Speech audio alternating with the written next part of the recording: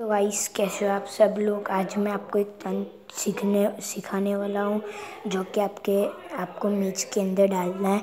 मतलब बॉलिंग करनी है, यूँ सिंपल से तो आपको बॉल यूँ पकड़ना है और यूँ करके डालना है। ये यो और ये ऐसे करके कैसा डाला, ऐसा ही आपको डालना है। ऐसी जानकारी लिए लाइक सब्सक्राइब कर दें।